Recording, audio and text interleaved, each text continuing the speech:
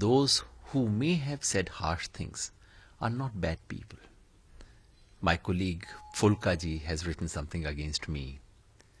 I have known Phoolkaji as that great warrior who had fought that battle of 1984 victims like no one else has in this country. He doesn't turn bad simply because he said something bad about me. Dilip Pandey has written a strong letter, I believe. Dilip Pandey is one of the finest volunteers you can find. He is a model of sacrifice. About this thing, you know, one journalist had said something.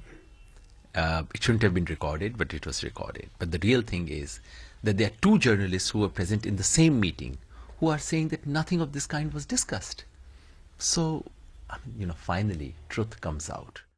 I really wish they had come up with smarter allegations. You know, that I've been working against the party in Delhi election. I mean, you'll have to get someone to believe these allegations, you know. I think they were short of time, so they had to cook up something very quickly.